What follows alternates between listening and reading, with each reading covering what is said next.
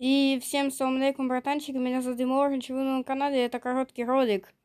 Ребятки, сегодня я вам покажу, как исправить белые текстуры в протонбасе. Короче, выбираем автобус, на котором у вас белые текстуры, вот. На диазах бывают белые текстуры. Белые текстуры это не редкость. Протонбас симулятор Урбана, смотрите. Выбираем наш мод, где у нас, где у нас белые текстуры, у меня нигде их нету, так что я вам просто покажу. Нажимаем на вот эту вот синюю галочку, Нажимаем такс. Теперь вон тут вот выбираем текстуру, которую мы хотим оптимизировать.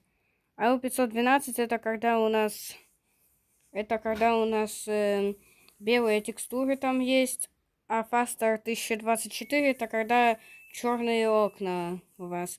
Просто выбираем одна из них. Если у вас черные окна, то Faster 1024, а если, а если у вас просто белые текстуры, то AU512 и нажимаем на кнопку Start Optimization, ждем пока оптимизируется, и потом выходим.